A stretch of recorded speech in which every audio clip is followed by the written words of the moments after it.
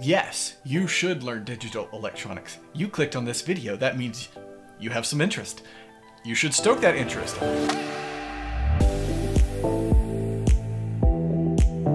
And I think digital electronics is a great hobby and I really want you to get into it. I've always wanted to design a processor and I've done that now and it just took me so long to figure out that it was even possible for me to do that.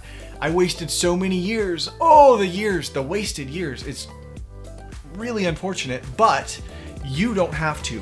You should get started right now, today, on the, your hobby, the new hobby, digital electronics. Don't be me. Start right now, today.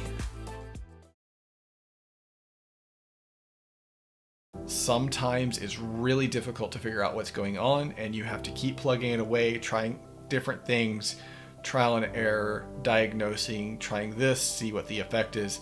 But oh, is the challenge worth it? When you finally get that thing working, oh, it's so cool.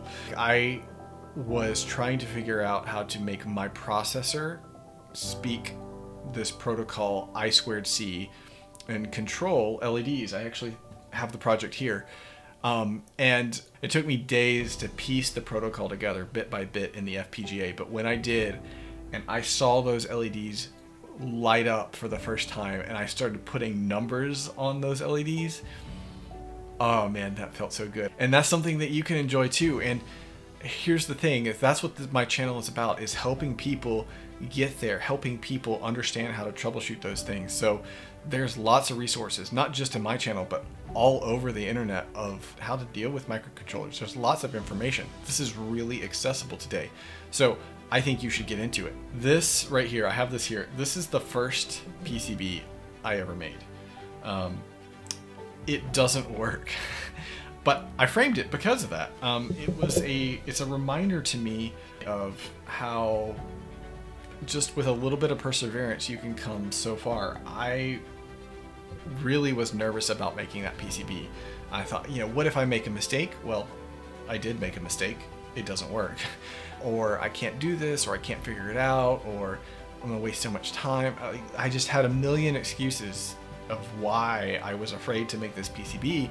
I hit the order button, got them, I soldered the board for the first time. This is actually the first one I soldered. And I got one thread through the circuit and I tr tried it out. I put a voltage on it, and one of the ICs like, got really, really, really, really hot, which means there was a short circuit. Turns out in my uh, design, I had mislabeled two pins and I got them backwards. Through one of the ICs, I was connecting the ground to the positive voltage, and so there was a short circuit through one of the gates. But I learned and I figured it out, and now I just made a PCB the other day. I, I was careful to not to, you know, make any stupid mistakes.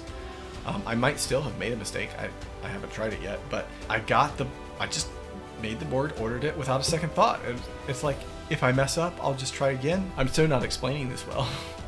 Point being, I framed this. This is the moment where I my failure turned into success later because now I have not only do I am I making PCBs more regular more regularly. I have an entire processor that I have designed. I think you should get into digital electronics.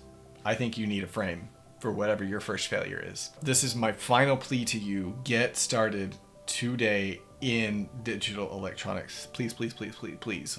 Iterate over time, slowly, adding more and more complexity, and uh, don't give up. You'll get there. Uh, th that's my advice to you. All right. Uh yeah, whatever, man. I don't know if that's going to be good or not, but hey, I did it.